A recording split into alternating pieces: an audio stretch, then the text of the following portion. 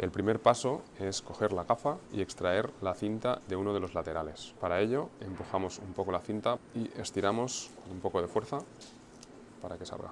La siguiente operación es la misma, esta cuesta un poco más, hay que introducir primero una punta y una vez pasa, estiramos.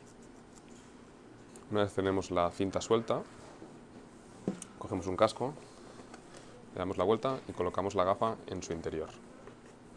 La cinta la debemos pasar por el agujero desde el interior. Vigilamos que quede bien colocada, que no quede ninguna arruga. La posición ideal es que cuando salga al exterior del casco venga en esta posición. En VF3 podéis ver esta pinza que nos puede ayudar a que la cinta no se nos suba hacia, hacia arriba. Volvemos a pasar por el agujero.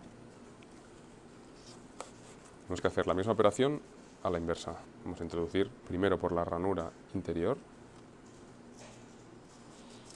y por la segunda ranura.